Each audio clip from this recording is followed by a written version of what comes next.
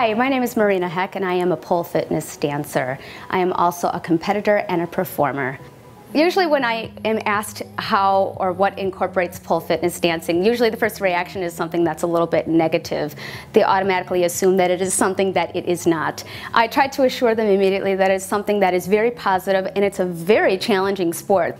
You can try the sport at any age. I have seen more children start to enter this sport as early as four years of age. I also have been noticing many more boys and men that are trying this sport. It really doesn't have to pertain just to women. I have seen many hip hoppers do this as well as parkour artists that have taken a huge fascination with pole fitness. When I am planning a routine or performing my routine, the first thing that goes through my mind is just to try to keep my toes pointed and my lines as, as extended as possible. Oftentimes we get so nervous that we tend to forget what we're doing. I think the best part is just to tune your mind out, listen really well to your music, and enjoy it.